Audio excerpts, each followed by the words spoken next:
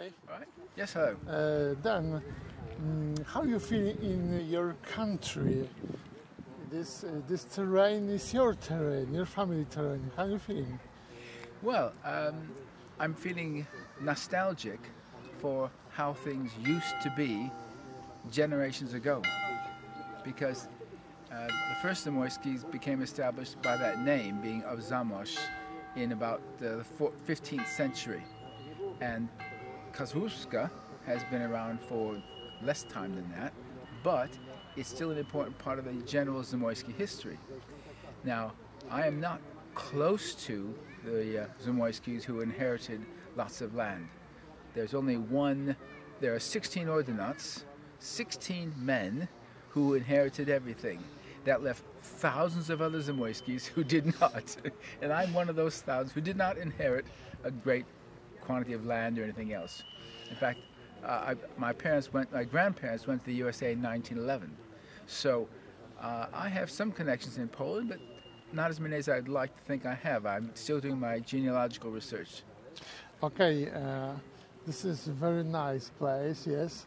Uh, Poland is a very nice place, yes. It's lovely. I was splendid. I love coming to Poland. You live in Great Britain.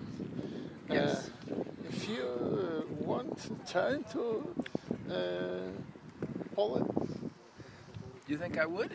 I Yeah. could? Well, I would love to live in Poland. I would love to. Uh, I'm 77 years old, so it's a bit old to be making a move right now. Plus, I have a wife uh, who's English, and, and I have uh, a son and daughter who are both doctors in England. I have three grandchildren, so it'd be difficult for me to say, "Oh, I'm going to live in Poland now." I think that that wouldn't go down very well. But I come here pretty much every year, and if I can do it twice a year, to visit various places. So I, I really, really enjoy coming to Poland, and I always, always wish the best for Poland. you you're uh, back to Poland every year, yes? Pretty much for, for last six, seven years, every year. I first came to Poland in 1994.